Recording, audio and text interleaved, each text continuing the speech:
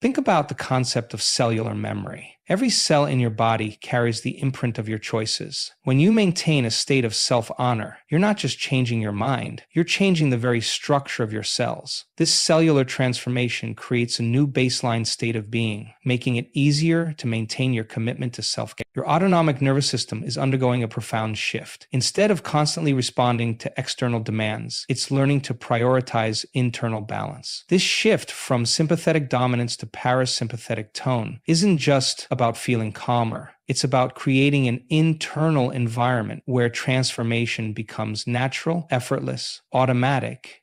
Watch how your decision making process evolves. Instead of operating from habit or external pressure, you begin accessing higher brain functions. Your prefrontal cortex, the seat of executive function, becomes more active. You start making choices from a place of wisdom rather than reaction. This is conscious evolution in action. Your body's energy production systems are responding to this transformation.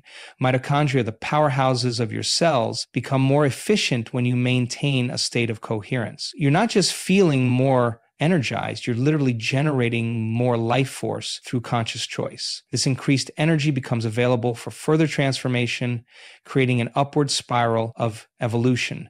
Your transformation begins now, in this moment of conscious choice. Every time you honor yourself, you're not just making a decision, you're rewiring your neural pathways, shifting your genetic expression, and creating ripples through the quantum field of infinite possibility.